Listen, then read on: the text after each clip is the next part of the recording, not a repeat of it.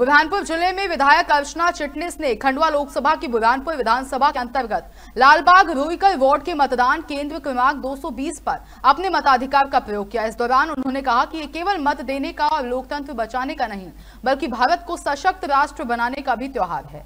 इस त्योहार पर हम अपने मत का उपयोग करके राष्ट्र को सशक्त बना सकते हैं। चार पार नारा नहीं आने वाले परिणाम का पूर्वाभास है। और आप देखिए कि मौसम भी इस चुनाव के महायज्ञ का साथ दे रहा है। परसों तक चिलचिलाती धूप थी। आज बेहतर मौसम है।